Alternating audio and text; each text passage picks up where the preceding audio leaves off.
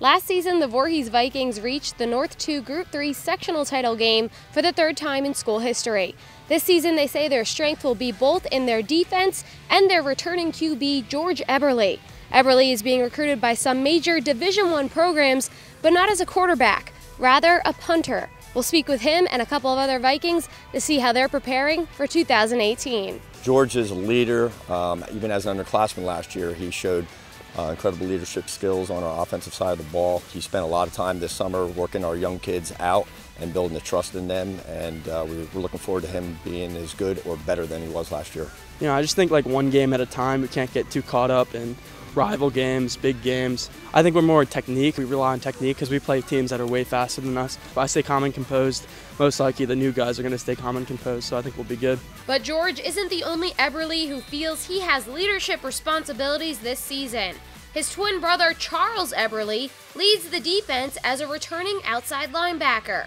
Last season, Charles had 115 tackles and three sacks. He tells Jersey Sports Zone about this year's team motto. Tradition never graduates. We want to stay, I guess, as a team, the same tradition that we had last year, making it to the state final.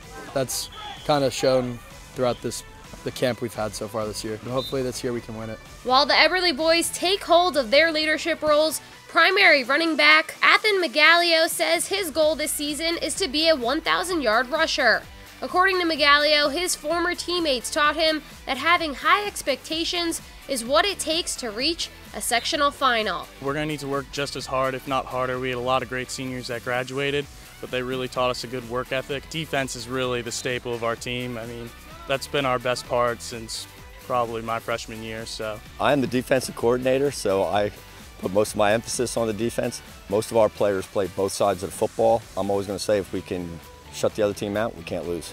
Voorhees, like so many others this season, is preparing for an early start. They have a week zero matchup against Plainfield on August 30th. From Voorhees, I'm Courtney DuPont. You're watching Jersey Sports Zone.